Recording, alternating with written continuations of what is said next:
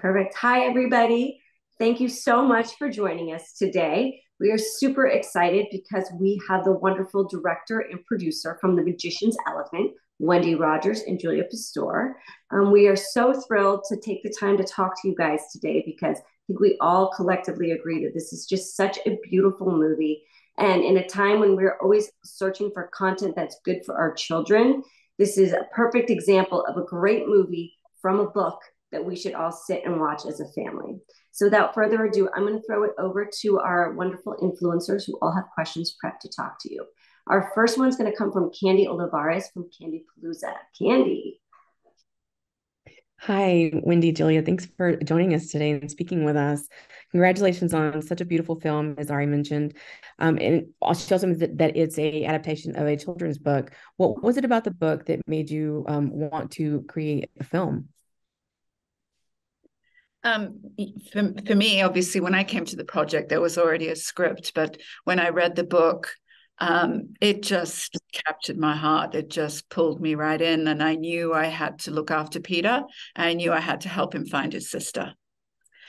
Um, I loved that it was uh, a magical fable-like world, uh, which was really compelling for me. I loved the ensemble of characters and the idea that through this boy's um, actions, you know, his grit and bravery and his just complete belief and hope, the whole town changed and the family came together. A family was formed, which those are my favorite kinds of movies. Absolutely. Thank you so much. Thank you so much, Candy. Our next question is going to come from Traci Shannon from FSM Media. Traci. Hi, yes, I'm Traci from FSM Media, and um, I was deeply touched by the the element of the loss of innocence equaling being stronger. And how um, the, the throwing away of the fairy book tale books, and then at the in that whole element of the story that was just so profound to me and I just thought maybe if you wanted to speak a little to that, and maybe if that was any of the part that attracted you to that, and um, because it seemed like it was a deep part of the film and and and really elevated in the film. And thank you for that, by the way, as a parent. So um, I'm sure Julie will have something to add. we finish each other's sentences a lot. that I breathed in about to speak. Yeah. But, but, one of the things that that I always felt, um, you know, Vilna is raising Peter in quite a strict, you know, utilitarian, soldierly way. But he's doing that in he thinks it's a gift to raise Peter to, to be strong against a hard world. And one of the one of the beautiful things for me is that he relearns that it's okay to care, that it's okay to be emotional, that it's okay to be in touch with your emotions. And in fact, it's connectedness that is where safety lies, is where joy lies, is in being connected. Um, through following Peter's journey, he he learns that as well.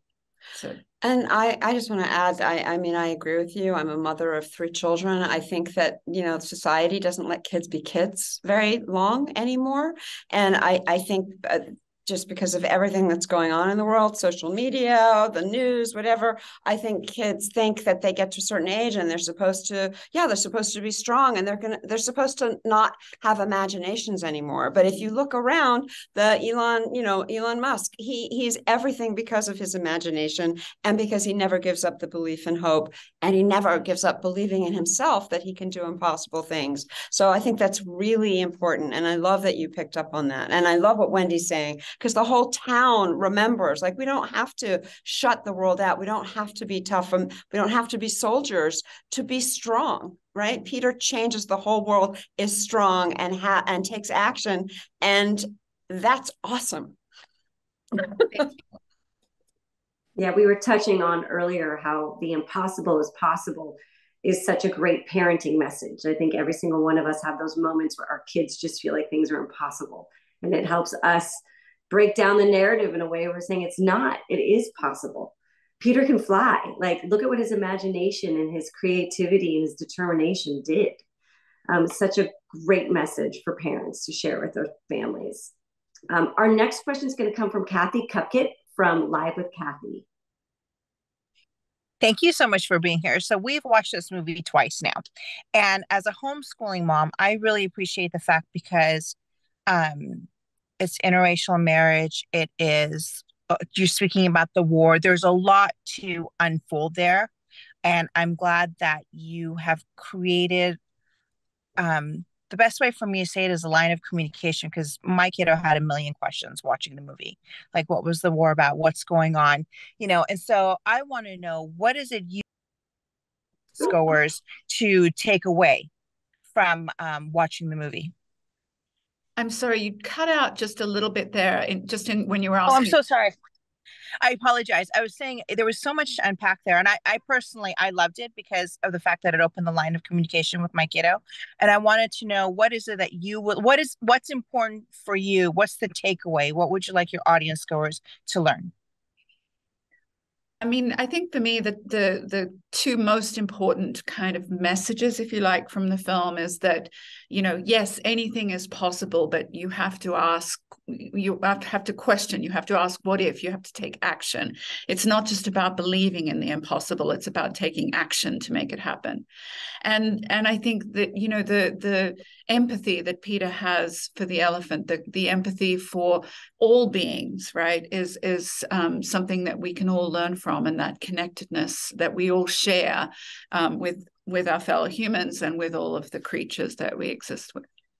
Yeah, and I would I would add to that. I mean, that empathy is a superhero power, right? I mean, I think that he, our our hero, achieves his goals because he take he he ha, he's compassionate, and those words sound soft. There's nothing soft about Peter. He's really brave, and he's willing to fight the toughest soldier. Yeah. And the other thing is just never give up. Don't forget to look for the sun in the clouds because it's there. Uh, you just can't give up on your dreams. I we loved it. I I, can't say enough about it because there's so, so much to learn. It's just not. It's not another animation. It, there's so much to learn, and I want to thank you guys for creating this. It's beautiful. Thank you so much. Thank you. Thank you. Thank you, thank you Kathy. Our next question is going to come from Nicole from Multicultural Maven. Hi, ladies. How are you? Hi. Hi. Um, we were really intrigued by the animation of the film, and I was kind of wondering what made you guys kind of go for like a muted color palette and a clay-like animation for the film. It's interesting because um, the the color palette is very much driven by the fact that you know the town, having lost hope, is is sitting under these clouds that don't move uh, or break or budge, and um, so that's sort of a you know a, an allegory for for the loss of hope. And we didn't but we didn't want it to be totally gray under there. So we allowed that there was would change lighting uh, you know based on time of day and and that they would absorb sunlight from above. But we wanted the world to have this beautiful soft diffuse kind of um, lighting quality I think that the animation style for me, um, we wanted it to be very physically grounded. We wanted it, it, it is stylized. We wanted to make sure because our characters are stylized. You know, if you if you're just going to do sort of physically human animation, then you should just do physical humans. And we wanted this to be a fabled world. We wanted it to feel fabled. We also wanted the elephant to feel physically uh, more physically real than the other characters. She is from somewhere else. She doesn't fit in here. She doesn't belong here. And so we had the juxtaposition of those kind of elements. She's more physically real in her design and in her weight um, than the other characters. Well we loved it. Thank you so much. Thank, thank you. you. And while we're on the elephant the way you guys created the emotion through her eyes I felt like you could feel her story, her heartache, her pain. You could tell she felt like she didn't belong there just through her eyes. Um, it was it was moving every time she was on the screen. I felt like my heart was tugging just to make sure that elephant found her family. It was. Aww, thank you. Kudos to our animation team for that, and I'm yes. our head of animation. Beautiful. I mean, they did such a wonderful, beautiful job. Um, our next question is going to come from Angel Camacho from Queen Bee Latina. Hi, ladies. Thank you so Hi. much for having me. It is such a beautiful story, and I love this adaptation. Um, what sticks out for me is truly the different layers and the complexities of the characters, um, specifically uh, Lutz and the soldier that he battles, I wanted to talk about the character development and what that looked like because I believe these characters are so human and relatable, which I absolutely love. That that for me was huge. Well, I mean, it start it starts with the book. Kate, you know, wrote a book where she spent a lot of time uh, you know providing dimensional characters with with deep inner personal lives and i think it was really important to us when we went into animation to not you know to stay true to that and and wendy will speak to it to just have the production design have the actors um have every everything not sort of make what and sometimes animation does something that's squash and stretch and gets sort of simpler and we wanted to we really wanted to have the room throughout the whole film to have uh nuanced characters that could have real inner lives yeah, I mean, it was, it, we obviously, you know, I didn't want to do a, a, broad squash and stretch style animation. I wanted it to feel, um, very, I wanted to, um, our characters to be capable of very subtle and nuanced emotion because that's part of what the feeling and the voice is from the book as well. And you want to see the characters think and feel and you know, then we had an amazing cast that just brought characters to life. I mean, you talk about Vilna Lutz, Mandy Patinkin was just he just created a beautiful, beautiful, nuanced, emotional character um, with his voice. So um, it, yeah, it, it is very much by design to to bring that sort of nuance and subtle expression, and to give the characters time to have that on screen as well, mm-hmm. which is yeah. where I think some of the the sort of claymation kind of sensibilities, um, you know, align. Is that it's just sort of that not everything is moving all the time; that we let characters stop and think and breathe. Yeah. Thank you so much, ladies, and congratulations. Thank, Thank you. you. But last and certainly not least, we have Cami Allen from the Mama Diaries. Cami, take it away. Hi, Wendy. Hi, Julia. I'm Cami from the mamadiaries.com. So nice to speak with you both today. So, being that The Magician's Elephant is a book to film adaptation, I was wondering if you were able to collaborate at all with the author, um, Kate DiCamillo. No, we didn't. But um, so Kate is the kind of writer. She's had a number of her books uh, adapted into film, and she sort of is of the belief that when she's written a book, that she she's done her part and she's put the story out into the universe, and she's really welcoming for other people to ha- sort of ha- tell their interpretation of it. So in the beginning of the journey, I mean, I think she was like, "Yes, are you the right people to be making my film?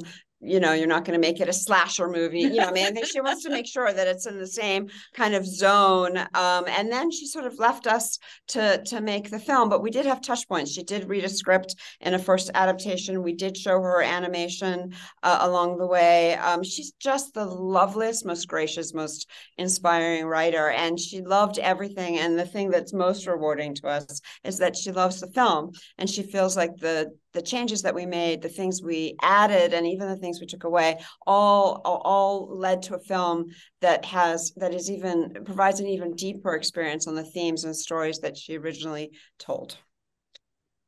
And we just Thank spent the morning with her, and we love her. We love her. That's great. Thank you both so much. The film's gorgeous. Thank you. Well, thank you all again for taking the time today to speak with us. To Wendy and Julia, thank you again for making this beautiful movie um, please, everyone, make sure to tell your friends and your family to um, take the time and sit down and watch The Magician's Elephant on Netflix when it opens March 17th. Um, thank you all. Please enjoy your, your Friday and your weekend. And thank you again for your time. Thank you. Take care. Bye, everyone.